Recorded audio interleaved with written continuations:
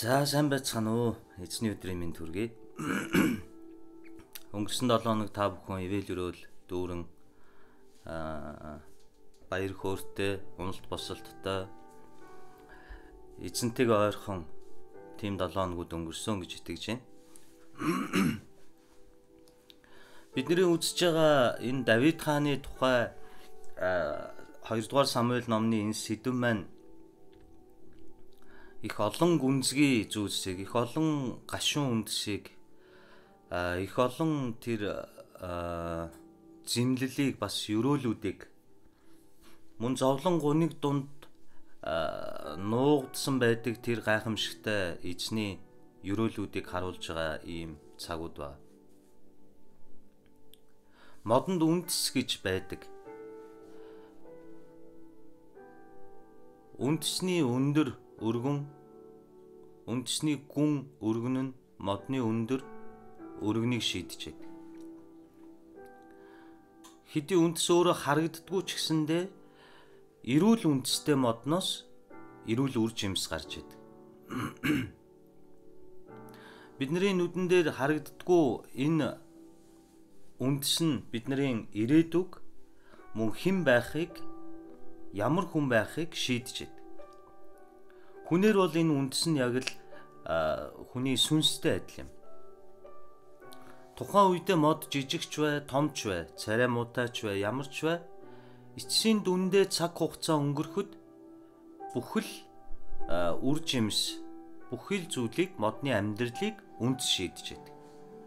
Хичнээн том үндэстэй хичнээн том нүсэр мод байлаа гэд үндэс муутай, хөрс муутай газар бол тухайн мод нь өөрөө хүчтэй салхинд, зовлонд, сорилтонд хийсч алга болж идэг.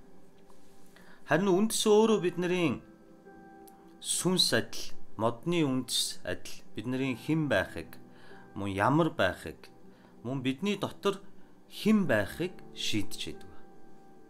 Яг л бидний сүнс өөрөө эзэн дотор хэрэг шаналсан, хэрэг ганцаардсан, хэрэг эзнээ хайсан гэдгээс шалтгаалan бидний ирээдүйн үр жимс, ирээдүйн амьдрал маань тэр мод мэд шийдэгдэж байна.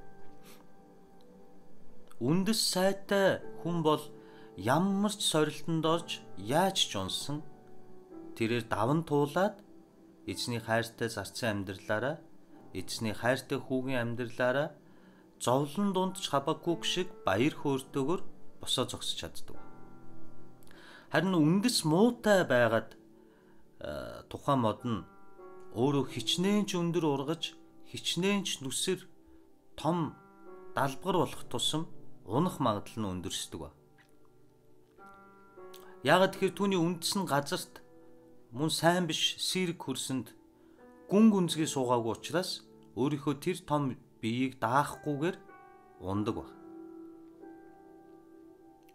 Тиймээс бидний нүдэнд харагдах зүйлс биш нүдэнд харагддгүй зүйлс нь чухал юм аа гэж бурхан биднэрт байнга хэлж байдаг. Анх Давид хааныг Самуэль тослохоор очиход Иеси өөрийн 6 хүүгээ урдуур нь явуулахад Илиаб мөн бусад ах нар нь өндөр дайчин ирэмгий легион цэргүүд байсан ч бурхан Самуэльд хэлсэн нэг үг байдаг. Хүмүүс та нар гаднахыг хардаг бол бурхан би та нарын доторхыг хардаг гэж. Ингэснээр эзэн Давидын үндэс буюу өөрийг нь хайрлж түүний үнэнч түүний байгаа тэр хоньны талбай дээр бэлчээр дээр нэг хоньныхоо төлөө амиа өхөөсч буцахгүй арслан заантай тулалдаж буй христлэг дүр төрхийг харсан эзэн хоньны бэлчээр дээрээс Израилийн агуу хаан болгон Давидыг дуудсан. Учир нь бурхан түүний гаднахыг биш түүний үндэсийг буюу түүний сүнсийг түүний цэвэр зүрхийг харж исэн өөрийг нь хэрэг хайрлж, өөрийг нь хэрэг хүндэлж, өөрт нь хэрэг итгэдгийг бурхан урдчилж харсан. Энэ ч утгаараа бурхны харсан тэр хараа нь буруу байгаагүй гэдгийг дайны талбар дээр хончин хүү авраг биет 2 3 м гаруй биетэй Голиатын өөдөөс горхины чулуу аваад гүүж очин Израилийн шившгийг өөрийн бурхны ард түмний тэр айдас хүүдсийг даран эзэн бурхнаа алдаршуулж байгаа дүр төрхөөс харж байгаа. Тиймээс бидний өнөөдрийн унаж босох нь бус бидний үндэс сүнс маань ямар байна гэдг нь чухал. Олон цуврал номлолуудаар энэ эхлэл номноос ахуулаад тооллого явсаар байгаад одоо Самуэль 2 дугаар Самуэль ном хүртэл миний мөрөөдөл бол ганц ч болтугай цөөхөн ч болтугай Христ итгэгч нарын сүнс нь үндэс нь газар руугаа ургаасаа гэж хүсэж байна. Эдгээр үйлчлүүдээр маань дамжуулаад мундаг гитар тоглоод мундаг дуулдаг, мундаг удирдахч төрөөсөө гэхээсээ илүү даруй зүрхтэй сул дорой ч гэсэндээ сүнс нь үндэс нь ирүүл тийм бут сөөгч болтугай ургаасаа гэж чин сэтгэлээс хүсэж. Та бидний сүнс ирүүл байж та бидний сүнс тэр үндэс маань эзэн дотор гүн гүнзгий суурлагдсан эрүүл хөрсөн дээр эзнээсээ авдаг түр үгээс авдаг шим тижээлээ бүрэн гүйцэд авсан эрүүл сүнстэй эрүүл үндэстэй үр жимстэй мод байх болтугай хэмээн эзний нэрээр өрөөнгө бүгдээ өнөөдөр 2 дугаар Самуэль 16 дугаар бүлэг рүү оръё. За 15 дээр Абсалом Дааман хаалганы шүүхийн танхимын гэхээр Дааман хаалганы хамгийн хотын чухал мэрэгдүүдийн байрладаг байрлалын зам дээр зогсоод 4 жилийн турш тэрээр улс төрийн карьер буюу тэр ядарсан, өрөнд орсон, ял шийтгэл, зэмлэл хүртсэн эсвэл асуудлаа шийдэх гэж холоос аялж ирсэн 12 овог аймгийн хүмүүстэй уулзсан гар барин бун үнсэж мэндэлснээр урдаа 50 хүн гүйлгэж тэр нөхцөл байдлыг гаднах дүр төрх буюу түрүү бидний ярьсан үндсийг бус тэр модны өсөлтийг анхаарсан үйлдэлүүдээрээ тэрээр улс төрийн карьерда тийм амжилтгүй байгаагүй. Тэрээр маш өндөр амжилтанд хүрсэн бөгөөд хамгийн сүүлд эцэг Давидаас Хебронд очихыг хүсээд Давид аавынхаа эхэлсэн улс төрийн карьер нь эхэлсэн Хеброноос буюу тэндээс өөрийгөө хаан хэмээн тунхаглаж байгаа. Эцсийн цохилт нь Ахитофел байсан. Батшебагийн нөхөр Уриягийн эхнэр Батшебагийн өвөг эцэг болох Ахитофел тэр олон жилийн турш Давидд гомдсон сэтгэлээрээ хамгийн сүүлд Абсаломыг Давидын эсрэг сойж байгаа. Ингэснээрээ Давид зүхтаасан. Гэхдээ Давидын зүхтаасан шалтгаан бол 2 3 шалтгаан байгаа. Нэгдүгээрт нь тэрээр хүүгийнхээ цусыг урсгахаас гадна Бурхны хот болох Иерусалимд хаан сентиний төлөө Израильчууд нэг үндэстэн Бурхны ард түмэн хоорондоо дайтаж цусаа урсгахыг хүсээгүй. Энэ утгаараа тэрээр гэрээний авдрагч авч яваагүй. Өөрийнхөө байсан бүхнээ Бурханд буюу Бурхны хот болох Иерусалимд нь үлдээгээд анх нүцгэн шахуу оргодол босвол шахуу эзний өмнө ирсэн шигэ яг тэгээд буцаж байгааг бид нар харж байна. Тэрээр чидун уулууд уулууд шахаага тайлан уйлж явсан тэр гүнзгий сүнслэг үйлдэл нь энийг та биднэрт сүнсээр далдаас бидний ухамсарт мэдүүлж байгаа. За ингээд 2 дугаар Самуэль номны 15-аас одоо 16 руу ороход бид нар 16 дугаар бүлгийн 1-ээс 4-ийг уншаад эхлэе. Би та бүхэнд уншиж өгье. Давид ориглоос цааш жаахан доошлов. Харах тун Мефибошетийн зарц Сиба хааныг ухтахдаа имэйлсэн хос илжгэн дээр 200 ширхэг талах хатаасан усан хатаасан үзэм 100 багц, зуны 100 жимс, нэг тулам усан үзмийн дар сатсан байв. Хаан Зибагаас чи юунд эдгээрийг авч ирнэ вэ гэж асуухад Зиба илжигнүүд нь хааны гэрийнхэнд унаа. Талхан зуны жим талах болон зуны жимсэн залуу хүмүүст идэх хоол. Усан үзмийн дарсан цүлд ичиж ядарсан хүмүүст уухандаа болох юм а гэв. Хаан эзний чинь хөвгүү хаан байна гэхэд Зиба хаанд харах тун өнөөдөр Израилийн гэр эцгийн минь хаанчлыг надад эргүүлж өгнө гэсээр тэр Иерусалимд үлдсэн гэлээ. Тэгэхэд хаан Зибад үзэх тун Мефибошетийн хамаг юм чинийх гэхэд Зиба эзэн хаант минь таны нүднээ би тааллыг олох болтугай хэмээн мөргөн сүгдий гэжээ. За энэ дээрээс бид нар Давид хаан чидун уулууд хөл нүцгэн өгсөд Йордан зүг рүү уруудж байгаа. Газар нутгийн байдлаараа энэ үед Зиба хэмээх өмнө нь байсан Мефибошетийн зарц Зиба хэмээх зарц нь маш сонирхолтой үлд хийж байгаа. Зарц хүний хийдэггүй зөвхөн эздүүд хоорондоо бүр дотн анд найзууд хоорондоо үлддэг үйлдэлийг хийсэн нь тэрээр маш их туламтай дарс талах хатаасан жимс усан үзмийн дарс аваад тосож очиж байгаа. Энэ нөхцөл байдал дээр Зибаг та бүхэн мэдэх бах товчхон тайлбарлавал Зиба бол Мефибошет буюу Йонатны хүү Саулын ач хүү Мефибошет гэж залуу ба. Тэрээр анх оргож явахдаа зарцсан оргож явахдаа түүнийг унгаагаад унгааснаас болж хоёр хөлн мдээгүй болсон. Тахир дутуу нэг. Энэ дүр төрхийнөөс нь болоод Давид хаан амьд ах уу Йонатан найзгаа амьд ах уу үед хийсэн гэрээ байдаг. Ямар гэрээ вэ гэхээр Йонатан Давидад Саул миний эцгийн Саулын хаанчлал хааштай бурхны нүдэн тааламжтай биш байгаад мөхөж үгүй болж байна. Тиймээс дараа дараагийн ирээдүйдээ эзний мутраас яаж игээд амьд үлдсэн миний үр хүүхдэд чи инэрэнгүү өршөөнгөө хандаж өгөөрэй гэж Йонатан найз нь олон удаа Давидын аминд орж чин сэтгэлээсээ түүнийг хайрлсан дотн анд нь амьд ахуда гэрээхийн Давидтай ам тангараг өгсөн. Энэ утгаараа Давид Йонатаны хүү Мефибошетийг өөрийн хаанчлалд оруулсан бөгөөд хамт сууж өдөр бүр хоол идэн Саулын гэрийн бүх өмч хөрөнгийг асар том тэр хааны өмч хөрөнгө гэдэг чинь газар нутаг, тариан талбай, зарцнаар байж болох эд баялаг, алт мөнгө бүх өмч хөрөнгийг Мефибошетэд өгж байгаа.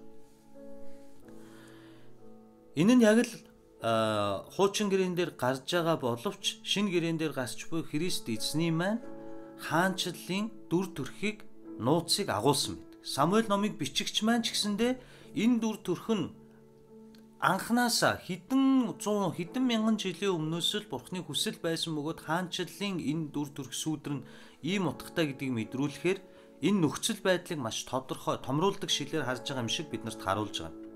Юу вэ гэхээр сул дорой тахир дутуу мэт.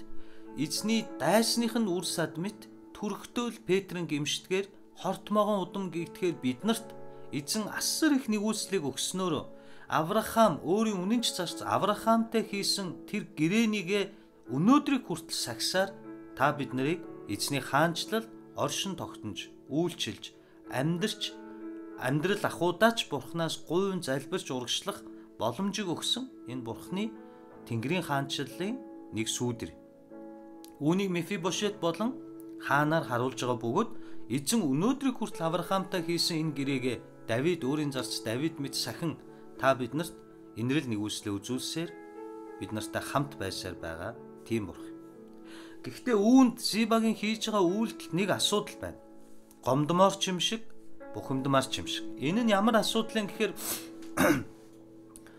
энэ хоол хүнс авчираад Давидыг тосож ирж байгаа энэ үйлдэлийг хараад Давид хэнийг асуусан бэ гэвэл Мефибошетыг асууж байгаа. Чи өөрөө яах вэ иржээ? Гэхдээ миний өршөөл нэгүслийг маш ихээр хүртсэн. Үнэхээр надтай хамт нэг ширээнд хоололдог байсан. Миний дотны анд амьд ахуудаа захиж үлдээсэн. Тэр Мефибошет буюу чиний эзэн хаан байна вэ гэж асууж.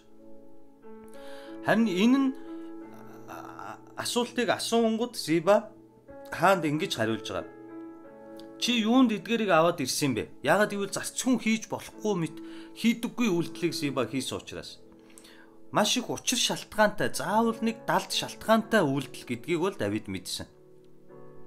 Гэтэл элжигнүүд нь хаан танд, тэгээ залуучуудад, тэгээ дарсан ядарсан хүмүүст гэж хэлж байгаа. Тэгээ эзний чинь хөвгүн хаан байгаа юм бэ гэж Давид Зибагаас асуухад харах тун Өнөөдөр Израилийн гэр эцгийн минь хаанчлыг надад эргүүлж өгнө гэсээр тэр Иерусалимд үлдсэн гэж хэлж байгаа Мефибошетиг.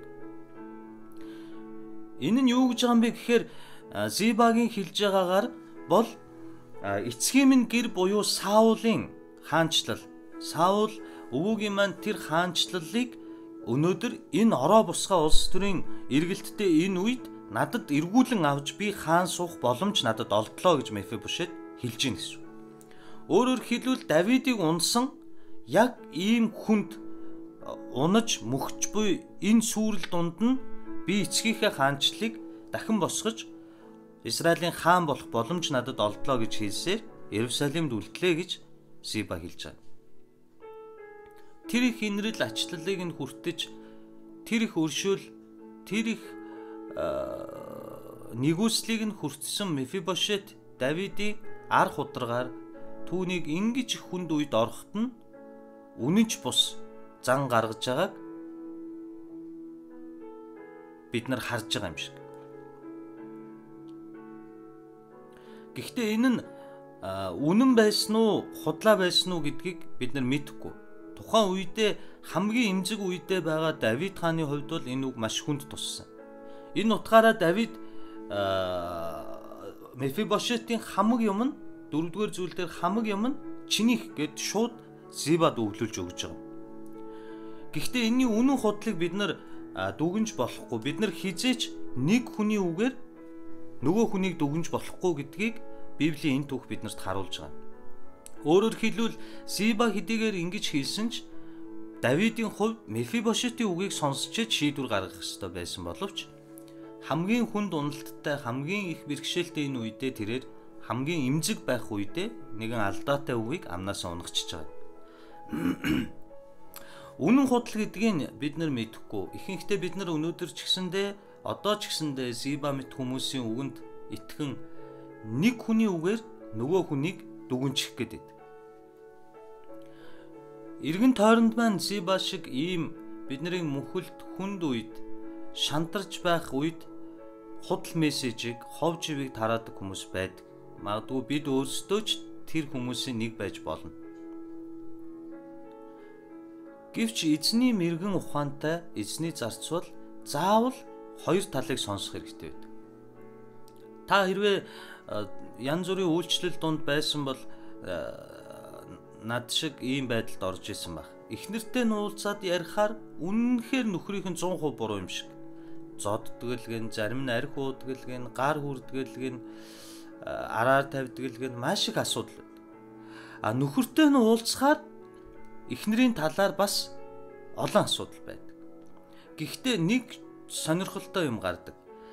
Тэр асуудал өрнөж буй гэр бүлийн тэр асуудалтай нөхцөл байдлыг тухайн үед нь хараад шийдвэр гаргахгүй хүлээдэг.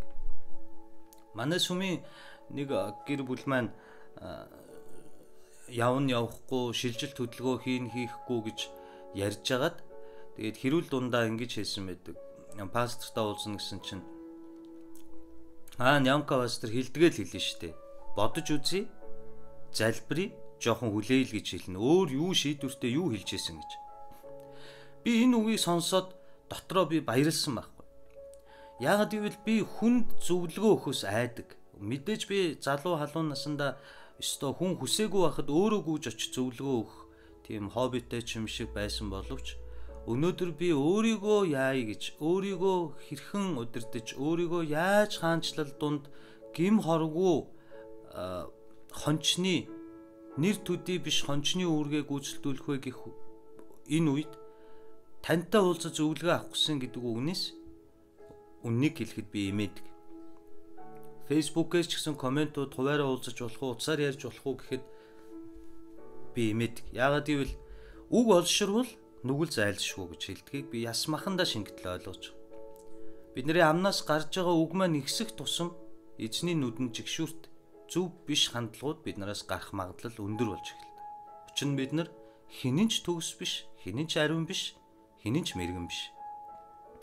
Тийм учраас энэ нөхцөл байдалд миний хэлдэг нэг л үг байдаг нь сонсоод жоохон хүлээ тэгээ залбирая гэж.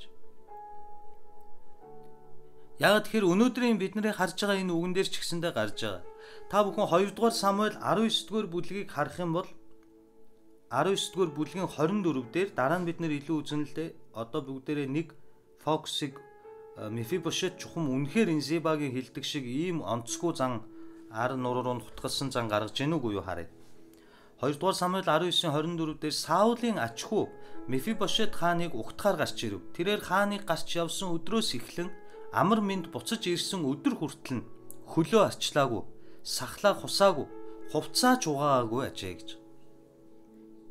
За энэ бол Мефибошетийн үйлдэл юм. Хөлөө арчлаагүй.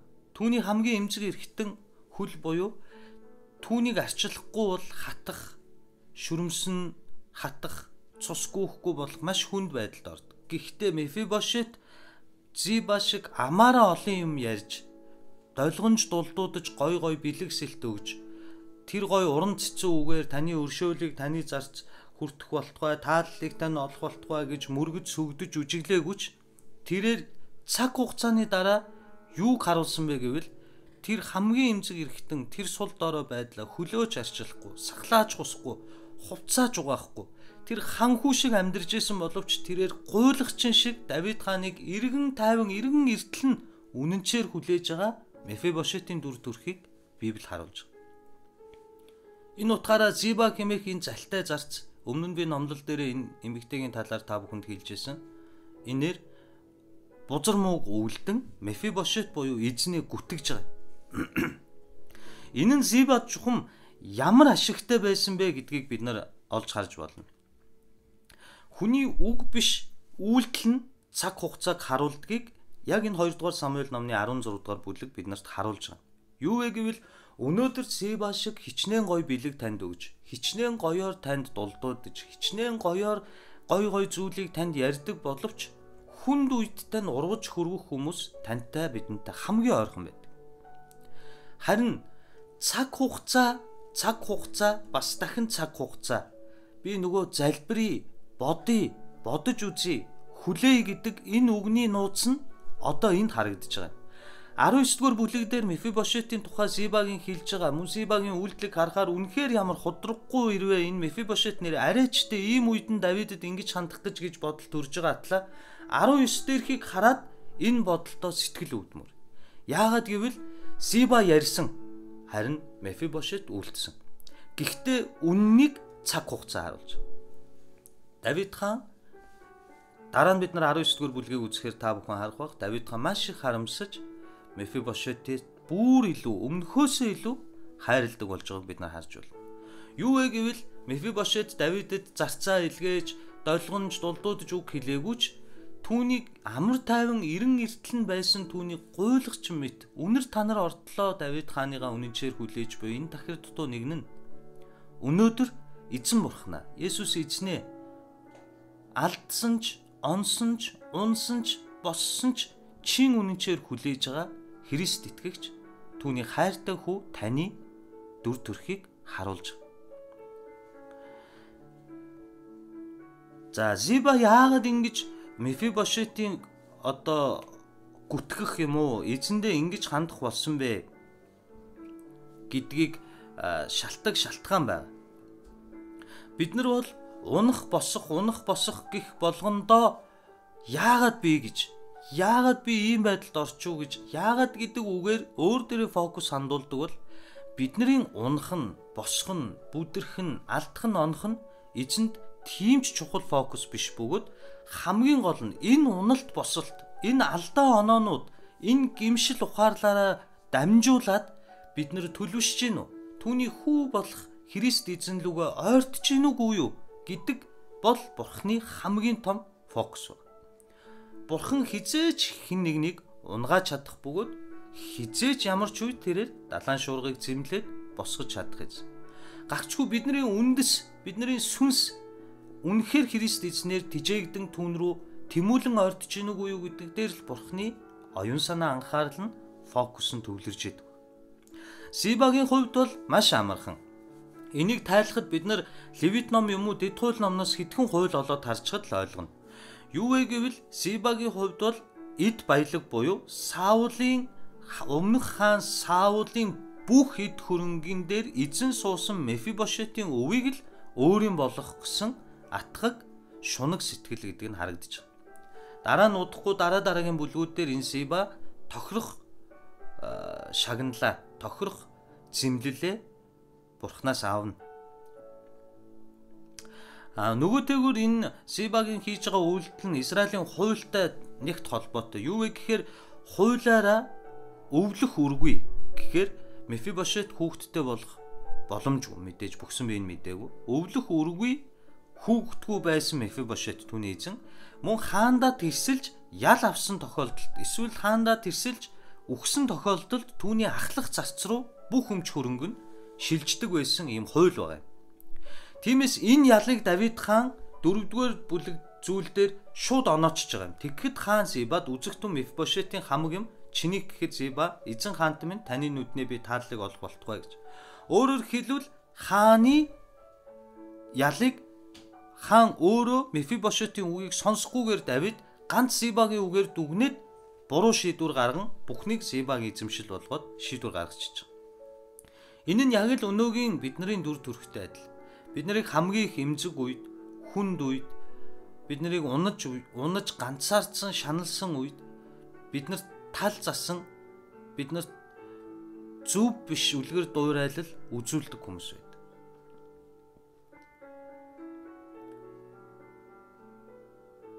Гэр бүл дотроо асуудал үүсээд нөхөр нь ихнэрээ хуураад тэгээд ихнэрдээ хүүхдтэй баригдаад ийм айхтар хүнд асуудалд орцсон үед нь нөхөртэй нуулзаа зүгээрээ өгшөө ир нэг алдаал үз эрэг нэг нураал үз яад амьдралд ийм юм байх штэ зүгээрээ гэд яриад явж байгаа тэргүүн пастор хүнийг би олон хас. Би ийм хүмүүсийг шууд зиба гэж хэл.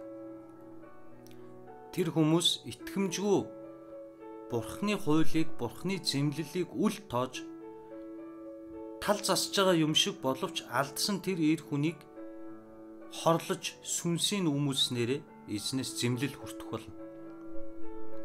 Бүх юм хоёр талтай. Гэхдээ шийдвэр гэдэг маань цаг хугацаанд байдаг.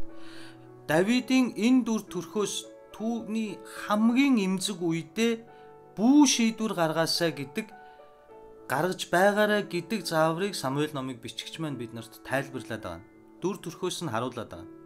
Давид Мефибошетыг сонсохгүйгээр Сибагийн үгэнд шууд орсон шалтгаан байна. Махан биеийн хувьд тэрээр маш их тамирчсан.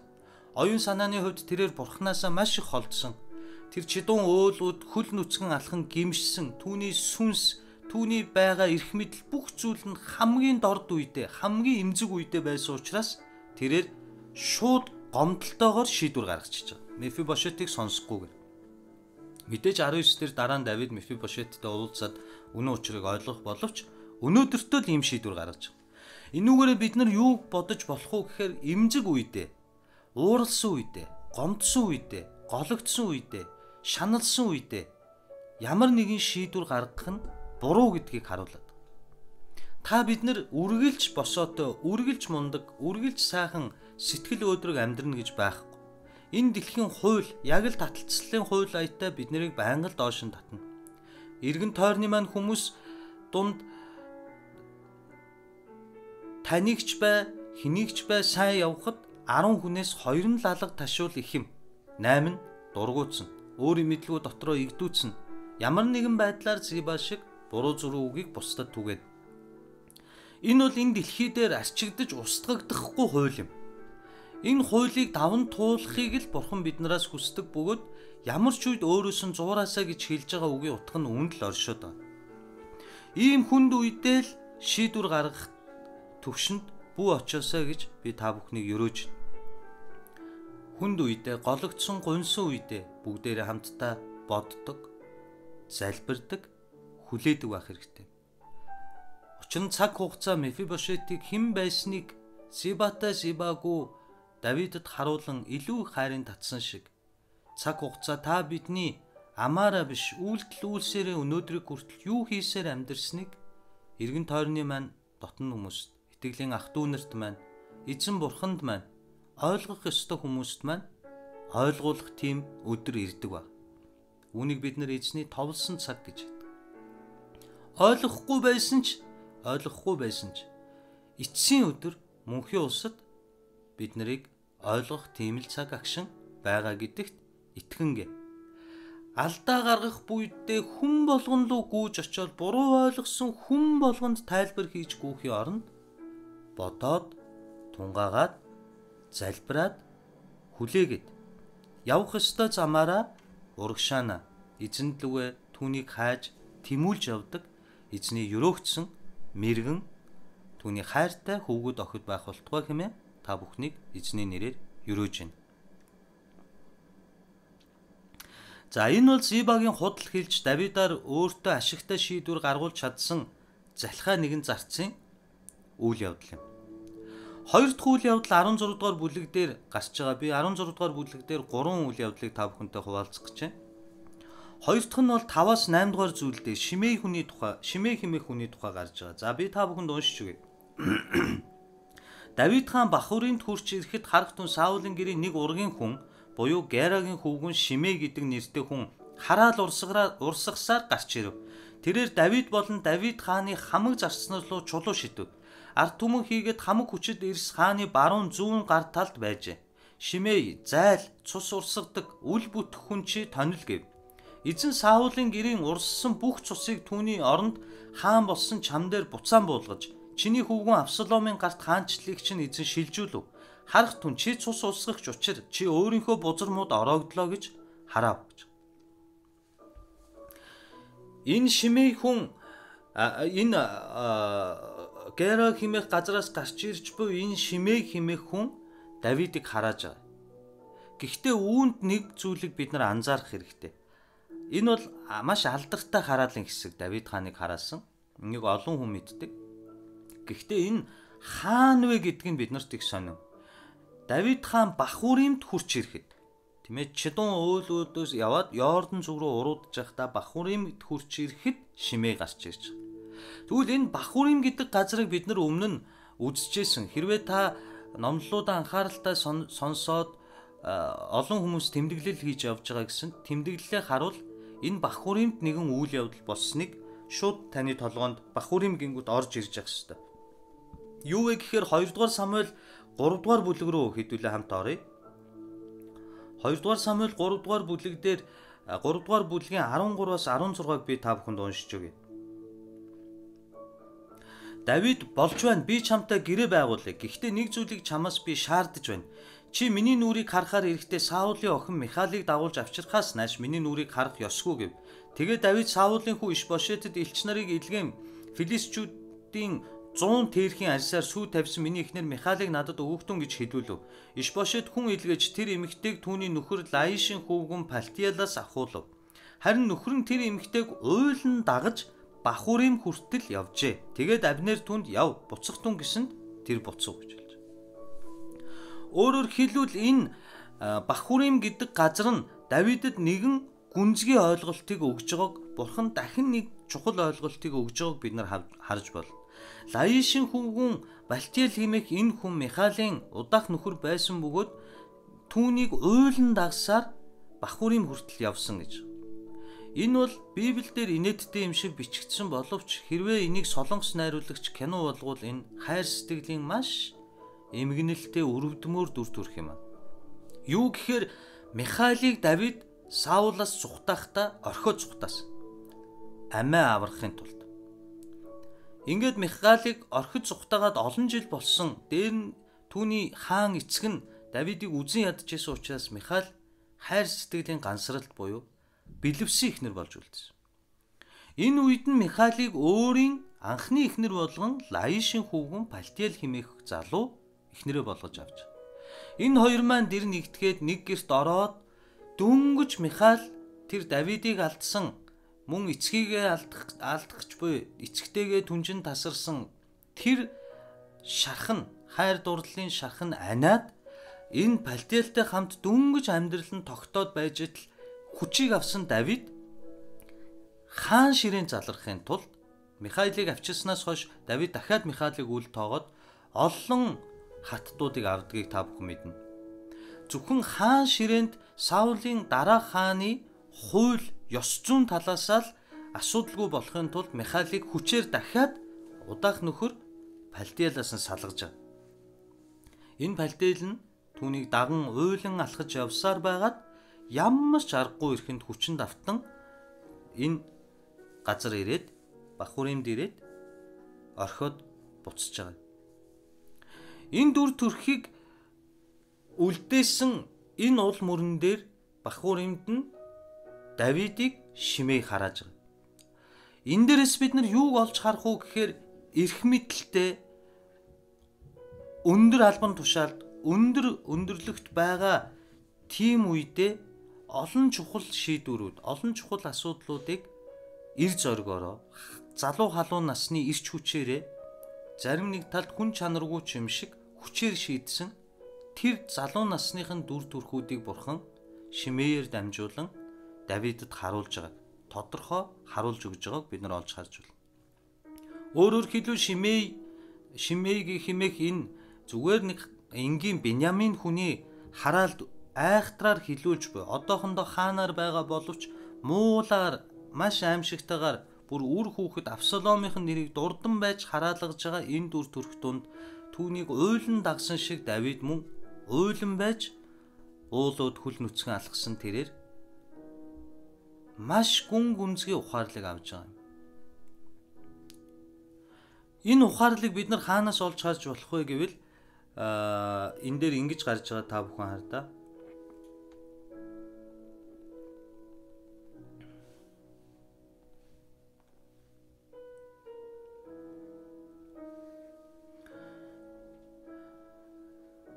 Хаач юу? Ороглоо гэж харав. За 9 дугаар зүйлээс Зерогийн хөвгүн Абишей хаанд энэ үгсэн нохоо яахлаараа миний эзэн хааныг хараадаг билээ. Очиж түүний толгойг тасдахыг надад зөвшөөрөөч гэсэнд хаан Зерогийн хөвгүүдээ би та нарыг яах вэ? Хэрв эзэн түүнд Давидыг хараа гэж хэлээд тэр хараасан бол чи юунд ингэв гэж хэн хэлэх юм бэ гэж айлдав. Тэгээд Давид Абишей болон бүх зарц нартай харах тун төрсөн хүү минь миний амийг ирж байхад энэ Беньямин хүний хувьд тэр тусмаа аргагүй юм. Түүнийг орхи. Эзэн түүнд айлдсан тул тэр харааж л байг. Эзэн миний зовлонг харж өнөөдөр түүний хараасны оронд надад сайныг буцааж юу магад гэлээ. Тэгээд Давид болон түүний хүмүүс замдаа гарсанд шивэ шимээ Давидтай зэрэгцэн уулын билээр яванга харааж чулуу шидлэн шороо цацсаар байлаа гэж.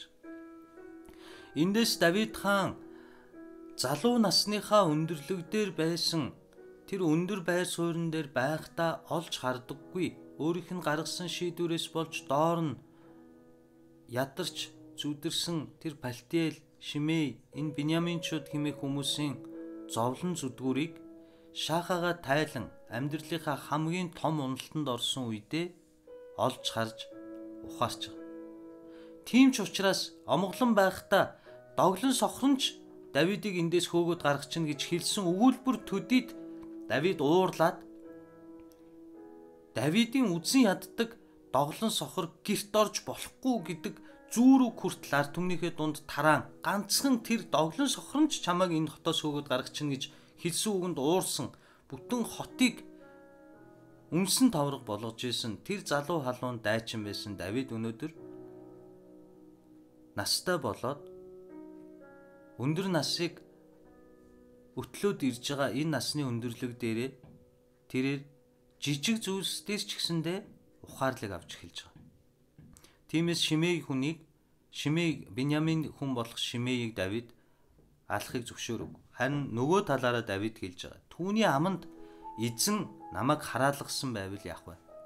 Бурхан зөвшөөрсөн бол надад сайхан ч бай, муухай ч бай. Бурхан зөвшөөрсөн бол Надад тааламжтай ч бай, тааламжгүй ч бай.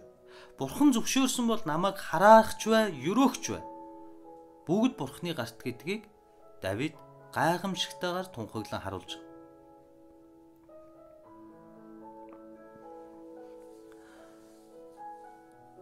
Энэ гүнзгий ухаарлыг 2 дугаар Самуэль ном маш олон удаа маш чухал нууц мессежээр бидэнд ойлгуулж байдаг. Өнөөдөр бидний амьдрал сайн сайхан байхад бид нар эзэндээ талархдаг бол амьдралд маань уналт ирээд дампуурал зарлаад хүнд үедээ бид нар бурхнаасаа хүн дээр нь гомдолдог үе гардаг. Харин биднэрт Хабакук шиг өнөөгийн энэ насныхаа өндөрлөг дээр бурхны гүнзгий ойлгож буй Давид шиг дүр төрх хэрэгтэй маах түнэр. Миний амьдралын уналт босолд хүнд хэцүү бүх цаг нь бүгд бурхны гарт бөгөөд тэрээр миний зовлон намайг харааж буй энэ шимээийг хараад намайг өрөвдөн надад сайныг эргүүлэн өгчин билүү хэмээн бодож буй энэ Давид нь яг л Есүс эзний хэлсэн шиг мунхагт мунхагаар бүх хариуд. Чамайг харааж чамайг үзэн ядагчдыг ерөө. Ингэснээрээ тэдний толгоон дээр үнс овоолж буй хэрэг юм гэж хэлж байгаа шиг Есүс эзний энэ гайхамшигт сургаалыг Давид хаан өнөөдөр энэ насныхаа өндөрлөг дээр энэ хүнд үедээ ойлгож авч байгаа. Шулуухан хийлэхэд өндөр газарт албан тушаалын өндөрлөг дээр байгаа үедээ бид энэ мэтийн жижиг зүйлсийг дорой хүмүүсийн зовлон олж харахгүй сохрох үе байдаг. Хэрв Давид ингэж унаагүй байсан бол энэ өмнө нь хийсэн алдааг ухаарахгүйгээс гадна шимэй мэт хүмүүсийг өнгөрөөж уучлах уужим зүрх сэтгэл Давидэд бий болов. Өөрөөр хэлбэл энэ уналт нь Давидыг дахин нэг шат сүнсээр өсгөн илүү хүчрхэг, илүү нэгүүлсэнгүү жинхэнэ Бурхны тааламжт хааны дүр төрх рүү нэг алхам ойртуулж байгааг бид нар харж байна. Өөрөөр товчхондоо энэ зовлон нь Давидыг дахин Давид болгож байгааг бид нар олж харж байна. 7-оос 14 дээр тэрээр өөрийг нь харааж буй тэр шимэй хүнийг уучлснараа үнэхээр бурхан түүнийг тааламжтай хэмээн харахыг олж харах бол. Тэрээр маш их даруусныг бид нар харж байна. Давид хаан өмнөх шигэ Адуламын агуу ингээдийн чөлөөр явж байгаа орууд босвол биш шүү дээ. Тэрээр ганц Хеброн буюу ганц Юудэнч хаан биш. Тэр бүтэн Израилийн хаан Атлаа энгийн нэг Беньямин хүн шороо цацсан хүүгийнх нь нэрийг дурдан байж доромжилж өөрийнх нь цус өөрийнх нь алдаад өөрийнх нь буруу муу зүйлсийг олонний өмнө эрлэхийг цэрэг жанжид ард түмнийх нь өмнө доромжлон чулуу шидэж шороо цацж байгаа шимээг уучлж байгаа энэ Давидын дүр төрх энэ зовлонгоор энэ алдаа оноогтой цаг он жилүүдээр дамжуулан хичнээн даруусч хичнээн их төлөвшсөнийг өнөөдөр шимээтэй харьцаж байгаа Давидын дүр төрхөөс бид нар олж харж болох юм. Гүтгэгдэж, буруу ойлгогдож, унах үедээ ч Давид хаан эзэнт л өөрийгөө даатхан эзний л мутрыг харж ирснийг бид нар олж харж байна. Энэ нь шимээийн хараал гэмэх удаах сэдв байл хамгийн сүүлийнх нь болохтой зэрэг Ахитофлийн зөвлөгөө байна. Ахитофлийн зөвлөгөө нь түүнд юу гэж зөвлөсөн бэ гэвэл ингэж гарч байгаа би та бүхэнд уншиж өгье. Абсалом Ахитофел 20 дугаар зүйлдер бид яах ёстой вэ гэдгийг та зөвлөөч гэж хэлв. Тэд нар Иерусалимд ороод ирсэн. Одоо Иерусалимд буй ард түмэнд жинхэнэ эрх мэдлийг атгах чинь одоо өнөөдрөөс би болсон. Абсалом би та нарын жинхэнэ хаан болсон. Одоо эргэж буцах замгүй гэдэг эцсийн мессеж, эцсийн улс төрийн сохилтыг өгөхийн тулд Ахитофлес зөвлөгөө авахд Ахитофл ингэж хариулж байгаа. Бид яах ёстой вэ гэдгийг та зөвлөөч гэв. Ахитофл Абсаломд гэрээ сахиулахаар эцгийнхээ үлдээсэн татвар эмсдэр орох тун. Таныг эцэгтэй зэвүүрхэж буй бүх Израиль сонсно. Тэгээд тантай хамт байгаа бүх хүний гаранч хүчтэй болно гэв. Ингээд Абсаломд зориулж дээвэр дээр майхан барив. Бүх Израилийн нүдэн дээр Абсалом эцгийнхээ татвар эмсдэр оров. Тэр өдрүүдэд Ахитофлийн зөвлөгөө нь Бурхны зарилгыг асууж олсон үг адил байв. Давидд ч Абсаломд ч Ахитофлийн өгсөн хамаг зөвлөгөө нь тийм байлаа гэж. За энэ дүр төрхөл Давидын эзнээс авж байгаа зэмлэлийн сүүлчийн үе шат байсан юм. Төгсгөл үе юм. Ахитофлийн энэ зөвлөгөөг хараад энэ таныг эцэгтэй зэвүүрхэж буйг хараад Израиль сонсно гэж. Энэ зэвүүрхэж буй гэдэг нь еврейн хэлээрээ бол эцсийн цохилтыг өгөөд нэгэнт одоо дахиж эргэж буцах замгүй. Та бол эцсийн цохилтоо өгсөн сүүлчийн шийдвэр бол зөвхөн та хаан Израилийн хаанаар шин хаан мөн Давид хааны цусан төрөл бөгөөд удаа хаан гэдэг нь маш тодорхой болно гэдэг энэ зөвлөгөө нь дээвэр дээр майхан барьж. Дээвэр дээр майхан барьлаа гингүүд таны оюун санаанд шууд бууж ирэх байх. Давид анх хаан бүдэрсэн бэ. Давид яг энэ дээвэр дээр бүдэрсэн.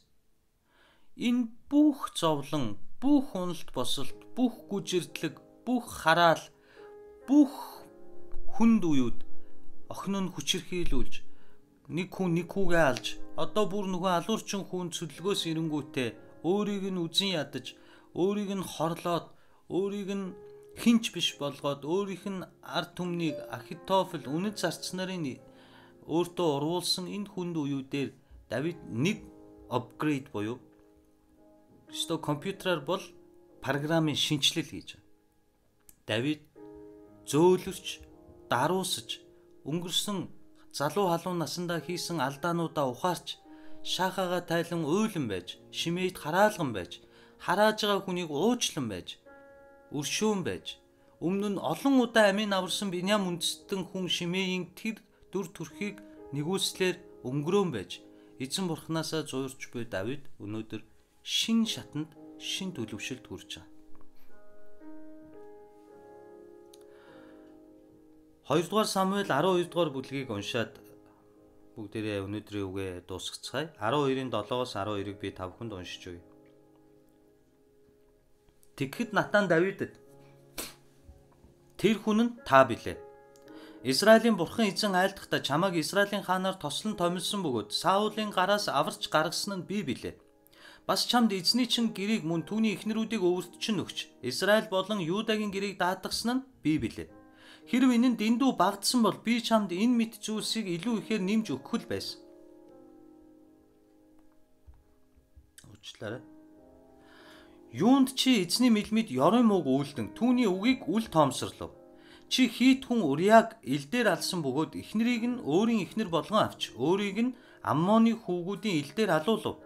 Тиймээс одоо чиний гэрээс хизээч илд салахгүй. Учир нь чи намайг үл тоомсорлож хийдхэн Уриагийн эхнэрийг өөрийн эхнэр болгон авсан гэлээ. Бас эзэн ингэж айлдаж байна. Үзэгтэн би гэрийнхний чин дотроос чиний эсрэг бузар хөнөөлийг гаргана. Би чиний нүдэн дээр эхнэрүүдийг чинь авч хөршид чинь өгнө. Тэр хүн гигэн цагаан өдөр чиний эхнэрүүдтэй унтах болно. Чи энэ явдлыг нууцаар үлдсэн бол харин би хамаг Израилийн өмнө гигэн цагаан өдөр үүнийг гүйцэлдүүлнэ гэсэн гэж хэлвэ гэж. 12 дугаар бүлгээс 16 дугаар бүлэг хүртэл 10 гаруй жилийн турш энэ зэмлэл Давидыг дагсан. Гэхдээ хоёр талтай. Нэг нь Бурхны хүн Натаны хийсэн үг мөн гмийн төлөөх эзний хариуцлага. Та бодох хэрэгтэй. Бид нар гим нүгэл хийлээгээд Бурхан уучлахгүй гэсэн утга агуулахгүй. Бурхны уучлал нэгүслийг давхаар ямар ч гим нүглийг энэ дэлхий дээр хинч үлдэх боломжгүй. Тэр төгс уучлал. Гэхдээ уучлал харин гмийн төлөөх хариуцлага хоёр тусдаа гэдгийг л бид нар ухаарах хэрэгтэй. Таны хийсэн Бурхны үгийг үл тоомсорлож мэдсээр байж үйлдсэн гим нүглийг эзэн уучлсан. Гэхдээ уучлсан гэдэг нь гмийн төлөөс болох хариуцлагыг танд үүрүүлэхгүй гэсэн утга агуулахгүй гэдгийг л бодох хэрэгтэй. Энийг л бид нар ухаарах юм бол энийг л та ухаарах юм бол эзнээс имэж амьдрах уу гэдгийг ойлгоно. Эзнээс имэж амьдрч ихэлсэн тэр цагаас эзнээс имээхгүй чинхэн мэрэгэн ухаан юмаа гэдгийг та бид нар ойлгох юм. Өнгөрсөнд хийсэн олон алдааг маань эзэн өнөөдөр уучлсан. Та бидний ирээдүйд хийгч олон алдааг тэрээр үхэн үхтэл маань нэг мөр Христ эзний төгс ариун уучлалаар уучлсан. Гэхдээ гмийн төлөөс гэж байдгийг Библи биднэрт харуулж байна. Та энэ хуучин гэрээн дээр болсон юм чи шин гэрээн дээр ийм төлөөс байхгүй болсон гэж битгий эндүрээрээ. Үгүй. Есүс эзэн бурхны хуулийг үгүйсгэх гэж биш харин төгс болгох гэж ирсэн гэдгийг өөрөө биднэрт маш оновчтойгоор тайлбарсан. Паул ахын үйлс номон дээр байдаг э, нэг ишлэл байдаг. Бурхны үзэн яддаг хоёр гим. Нэг нь ариун сүнсийг буюу Бурхныг хараан. Энэ бол антихристүүд өдөр болгон хийдэг зүйл. Тэд нар өдөр болгон Бурхныг харааж, өдөр болгон ариун сүнсийг хараадаг. Бүр харааж залбирцгаад. Энийг Бурхан өршөөхгүй гэж. Нөгөөх нь завхаарл. Энэ талаар Паул ах маш ойлгомжтой хэлсэн байдаг. Завхаарсан боловч уучлагдана. Гэхдээ түүдэг дундуур гарч ирсэн мэт хохирол нь асар их байх болно гэж хэлсэн. Өөрөөр хэлбэл Давидын хийсэн энэ алдаа дутагдлыг бурхан уучлж бүр эцсийн дүндээ шүүр салдан түүнийг өгүүлэн санах тийм дотн найз нь боловч гимгүү Бурягийн аминд хүрч харь үндэстэн бурхны дайсан амнончуудын гарт түүний амийг өгж алуулаад тэгээд түүний эхнэр Батшебаг эрх мэдлээрээ өөрийн болгож авч завхаарч буй. Давидын дүр төрхийг бурхан ингэж зэмлсэн.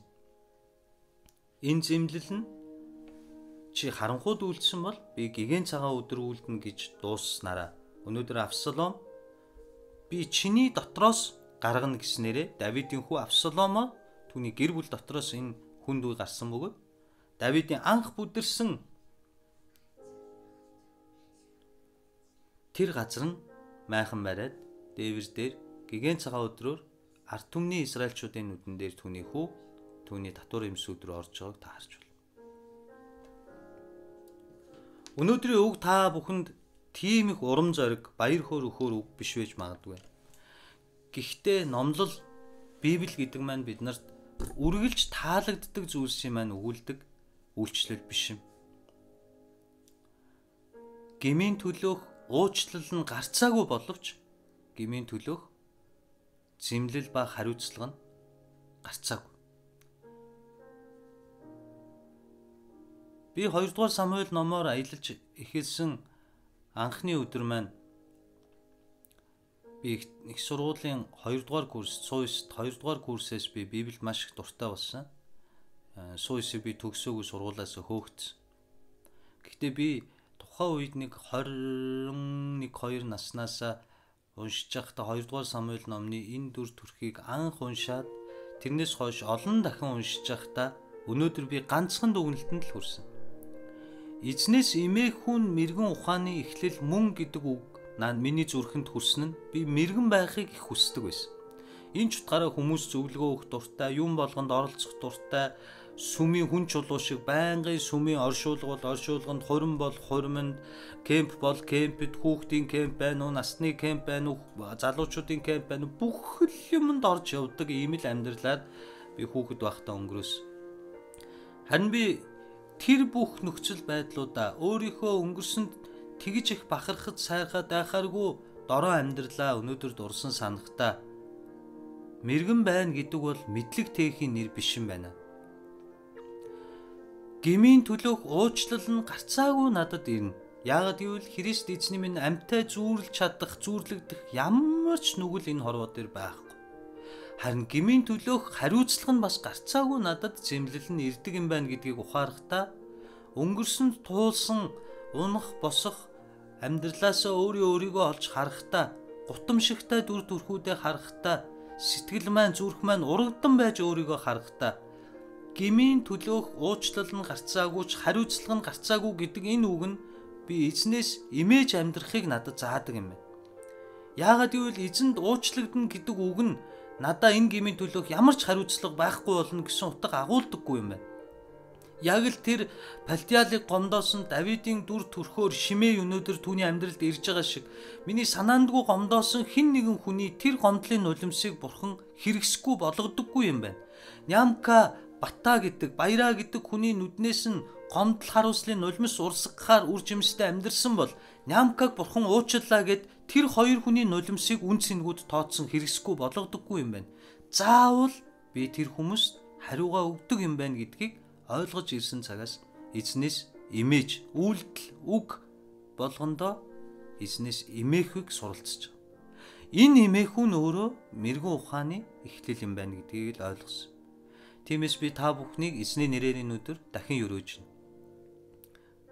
Бүхэл уучлалыг амсан Давид шиг хараал, өрөөл, магтаал, сайшаал, магтаалд хөөрөхгүй, хараалд унахгүйгээр нөхцөл байдал бүрээ хүнд хэцүү бүх нөхцөл байдлаа эзний моторт даатгаад эзний дотор зовлонгоор дамжуулан хурцлагдаж төмөр төмрөө ирэлдэг шиг хүн хүнээ ирэлдэг гэдэг шиг одоо байгаа өнөөдрийн энэ коронагийн үе энэ хүнд хэцүү зовлонгоор дамжуулан улам хурцлагдаж төлөвшөж эзэн лүгөө ойртож даруусаж хүчрхэгжиж үндс нь биеийн дээшээ биш үндс нь хөрс рүүгээ гүнзгий шингэсэн өрөөгцөн хүчрхэг эзний хөвгүүд охид байх болтугай хэмээн өрөөж байна. Мөн хоёрдугаарт нь эзнээс эмээхүүг мэдэрдэг үг үйлдэл гин бүрийнхээ өмнө эзнээс эмээн өөрийнхөө гарыг хурууг сүнсийг бодол санаагаа нүглээс татахыг хичээж амьдэрдэг татдаг түүнээс эмээн байж түүний мэрэгэн ухаанд суралцсан түүний хайртай хөвгүүд охид байх болтугай хэмээн эзний ариун нэрээр өрөөж байна. Эх 7 хоногт уулзтлаа дүр баяртай. Эзэн та бүхнийг эх 7 хоногийн турш өрөөсгөж хамгаалan хайртай хүн бүр дээр тань эзний инрэл нэгүслийн мотор хангамж дүүрэн байх болтугай хэмээн өрөөж байна. Баярлалаа.